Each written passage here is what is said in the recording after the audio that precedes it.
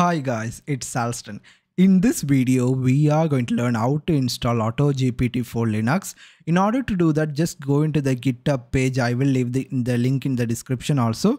And go into the releases section and download the source code. Currently, master is not working. So we need the release version. And I like to keep the page uh, scroll down on the installation screen because it does have cool uh, commands we can easily copy paste or do use it in case we forget something then we need to extract the zip into a folder you can extract it anywhere you want once that is done go into the view section and make sure that show hidden file is checked on because we need to edit this env template file here you need to enter all kind of API key from OpenAI to Google search in case if you need that. I'm going to explain basically with OpenAI because that is the only key you absolutely need in order to start using it. So for that, I have created a detailed guide with links on that. I will leave this blog post description also into that.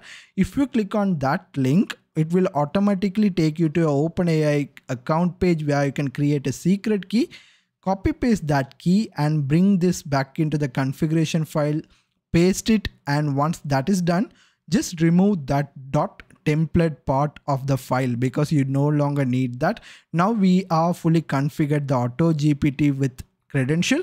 Right click anywhere in the folder and click on open in terminal. Now it will open up a terminal based on that particular folder location.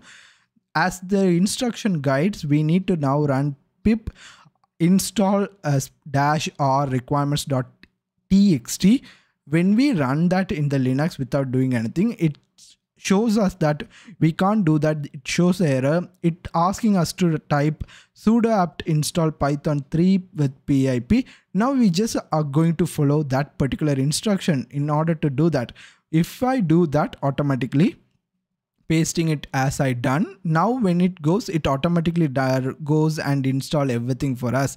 So I'm just going to press Y and wait for this to uh, finish. I have sped up this process. So depending on your internet connection and browser, uh, the system performance, it will take time. So since that is done, now I can go ahead and type python 3 m.autogpt rather than typing just python type this. This works in Linux. And once that is done, it will automatically load up your AI auto GPT, which you can start using it. First, you need to give a name for the instance. It can be anything you want. It's basically your own preference. You can name your own GPT depending on your use case type something relevant. Once that is done, now you need to define a role for your auto GPT. It will give you an example and ask you to give a role for it. These are really good. The role because it clearly mentions the intent intent and give instructions to your auto GPT instance. Once that is, uh, I have completed that. Now it will be asking goals for your AI. Basically, the concept currently works as you provide five different goal and I like to keep the fifth goal as shutdown to shut down the process. I don't want to keep on looping it or consuming too much of my OpenAI credits. So I like to give a four step plan for auto gpt it depending on your use case or on what you like to use this auto gpt for the instruction will be different the language you type in will be different so depending on your use case it will be different but basic concept you provide four different goals to accomplish something and give the goal fifth stage as shutdown when that is filled up and when you press enter it will start working it. You can see it is thinking in case if you encounter some kind of error like i'm showing you right now where the process is stuck on thinking you can see it's not moving.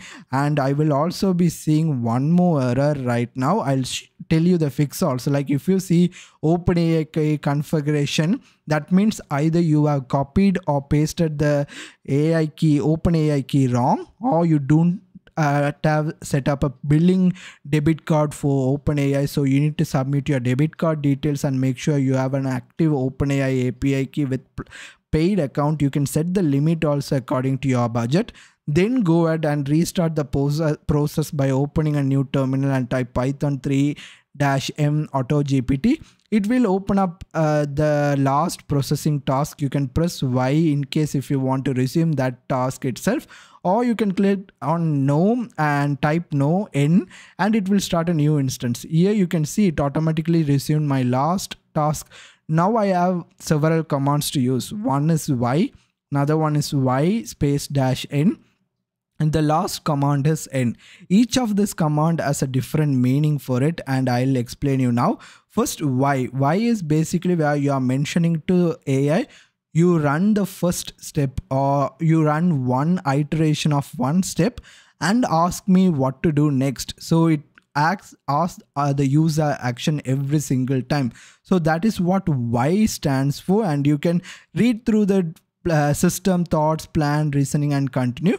Or you can go with y space uh, dash 2 or whatever the number. Basically the number here indicates how many times you wish to make the ai run continuously without your intervention.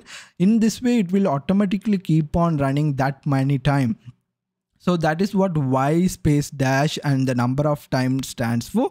Finally the uh, character is n. That is a really easy one to explain. Basically it is going to be exiting exiting the auto gpt right now the uh, that is the basic introduction on how you can use auto gpt for linux.